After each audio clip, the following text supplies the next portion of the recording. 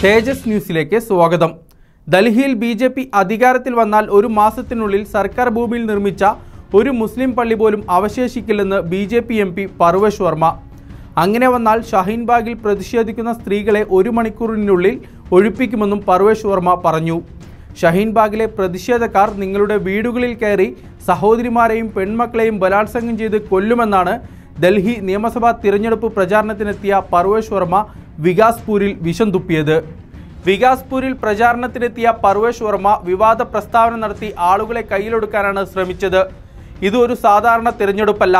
ഷഹീൻബാഗിൽ സമരത്തിൽ ലക്ഷക്കണക്കിന് ആളുകളാണ് പങ്കെടുക്കുന്നത്. അവർ നിങ്ങളുടെ വീടുകളിൽ കയറി സഹോദരിമാരെയും മക്കളെയും ബലാത്സംഗം ചെയ്യുകയും കൊല്ലുകയും ചെയ്യും. ഇന്ന് നിങ്ങളെ രക്ഷിക്കാൻ മോദിയും അമിത്ഷായുമുണ്ട് നാളെ ആരുമുണ്ടാവില്ല അതുകൊണ്ട് ഡൽഹിയിലെ ജനസമൂഹം ഉണരേണ്ട സമയമാണിത്. B J P M P പറഞ്ഞു का एक तरफा चुनाव है अगर 11 तारीख को भारतीय जनता पार्टी की सरकार बन गई एक घंटे के अंदर अंदर शाहीन बाग में अगर आपको एक भी आदमी दे गया तो मैं भी यहीं और आप भी यहीं